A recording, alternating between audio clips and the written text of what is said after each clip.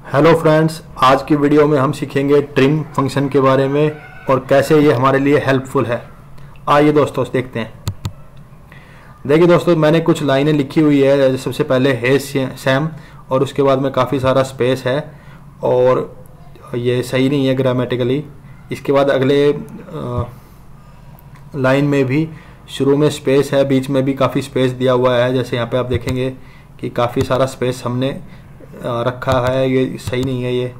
ये हमारी बहुत सारे एरर हो चुके हैं इसमें। तो ये सारे मैं कैसे सही करूँगा? आइए देखते हैं कैसे ट्रिम फ़ंक्शन की हेल्प लेते हैं। सो so, हमें क्या करना है? हमें करना है सबसे पहले ट्रिम टाइप देन ब्रैकेट शुरू।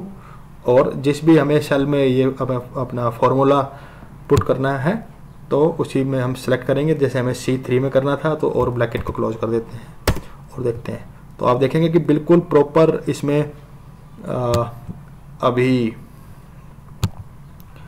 स्पेस सब क्लियर हो गए हैं। सभी में देखिए आप यहाँ पे सबसे लास्ट में जैसे यहाँ हाउ और अबाउट के बीच में काफ़ी सारा स्पेस था। यहाँ पे बिल्कुल क्लियर है बहुत ही फाइन है और बहुत ही प्रॉपर ग्रामर के साथ में हमारे सारे सेंटेंस करेक्ट हो गए हैं। तो दोस्तों आपको हमारा ये ट्यूटोरियल कैसा लगा हमारे कमेंट बॉक्स में जाके ज़रूर बताएँ।